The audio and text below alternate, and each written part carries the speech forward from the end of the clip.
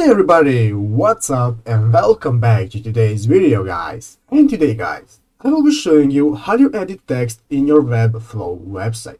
So yeah guys, make sure to watch this quick and easy video till the very end and follow my steps correctly. So you can make sure this works the same for you and that you can do this yourself. But yeah guys, let's get straight into it. The first thing you want to do guys is go ahead and open up the official webflow.com website right here and log into your account. After logging into your account guys, you'll be greeted by this main page right here where you'll be able to see all of the websites that you have already created. And here you will be able to see the button to be able to go ahead and create a new website if you want. But guys, for today's video, I'm going to be using this website right here that I have already created called YouTube Tutorials. So guys, I'm going to go ahead and open up this website right here by clicking on it and clicking on Open Designer.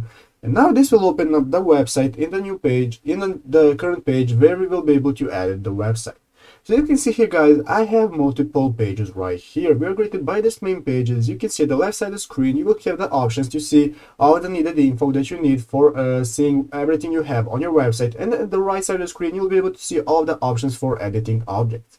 So the first thing I'm going to do is go ahead and open up the about page right here where I have some text that I want to edit. So if I scroll down a bit, you can see that here I have a text box with some text and let's say that I want to edit.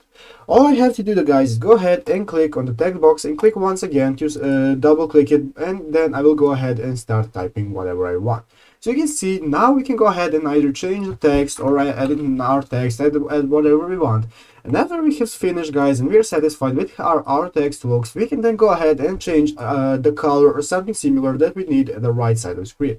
So you can see you have multiple options right here. You can change the pacing, uh, you can ch change the size of the text, you can change whatever you want, you can change the position, you can change the colors and everything you need. It will all be right here the right side of the screen under the uh, style option.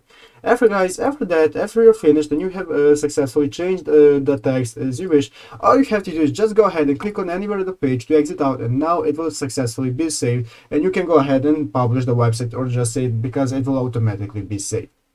But yeah guys, basically that's how you do it. I hope this video was helpful. If it was, make sure to leave a like and subscribe to the channel. So yeah guys, thank you for watching, take care and bye.